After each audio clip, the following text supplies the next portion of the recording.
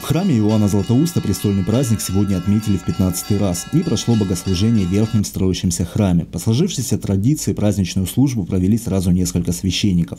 Строится же так называемый верхний храм уже много лет. К 15-летнему юбилею прихода здесь появилась возможность собрать всех прихожан. Строители недавно завершили работы по укладке напольной плитки. Окончание же строительства зависит от пожертвований. Очень радостно, что сегодня служба совершается уже в большом храме.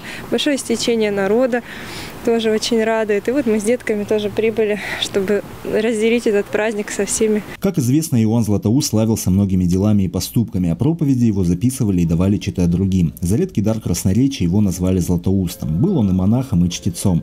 В 397 году поставлен архиепископом Константинопольским. Скончался святитель в изгнании в абхазских каманах.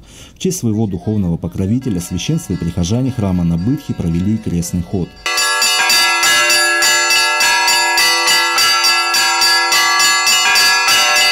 Иоанн Златоуст – это тот святой, благодаря которому верующие могут с молитвой обращаться к Богу. Именно Златоуст является автором большинства обращений, собранных в молитословах.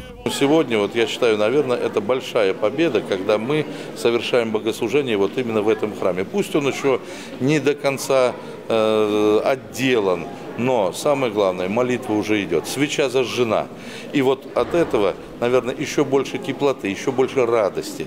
И такой день Господь сегодня дал, солнышко светит, прекрасно, на душе действительно ангелы поют. Слава Богу за все, как говорил всегда святитель Иоанн Златоуст. Спасибо вас, Господи, всем. В честь престольного праздника 15-летнего юбилея прихода настоятель храма Иоанна Златоуста вручил подарки всем своим помощникам. Все от свечницы до уборщицы получили в подарок иконы и книги митрополита Екатеринодарского и Кубанского Исидора «Судьбы России в свете православия». К празднику завершилась и роспись Нижнего храма. Занимались творчеством профессиональные художники. Целые библейские сюжеты отражены теперь и на церковной купели. Игорь Кырпа, Инга Габеша, Николай Тихонов, телекомпания «ФКТ».